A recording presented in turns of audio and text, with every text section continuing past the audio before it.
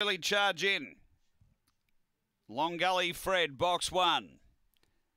Last few being locked and loaded. There's the green light. Best of luck, punters. The last of the night, race 12 here at Angle Park. They're ready.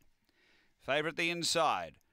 Racing, Long Gully Fred out okay, but headed by Hopi Girl, who goes to the lead. Through to second is Alinga Lily. Uh, then Long Gully Fred, three off the top. Next is Springvale Vixen. Uh, then Zabansky Fury and Uprise. Up front, Alinga Lily moving to Hopi Girl. Long Gully Fred peeling off their backs, but up to the turn, Alinga Lily's got a break over Long Gully Fred, and Alinga Lily brings up a double for Yvonne King.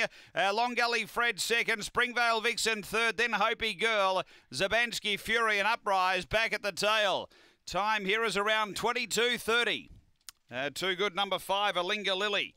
Began cleanly, was up second early, and then took over, racing toward the bend, and has been too strong. Number five uh, for Yvonne King, second to one.